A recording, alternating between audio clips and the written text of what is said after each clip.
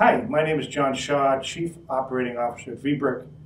Next week at the NAB show in Las Vegas, we're announcing the Rich Media Desktop, the industry's first product that makes it incredibly easy for anyone to create and deliver high quality video desktop presentations. As a matter of fact, I'm using the product right now to create and deliver this very message. The Rich Media Desktop is so amazingly easy to use, it virtually eliminates the fear many people have when they think about creating their own live on-demand video presentations, especially those presentations that will be watched by colleagues, customers, and other important constituents.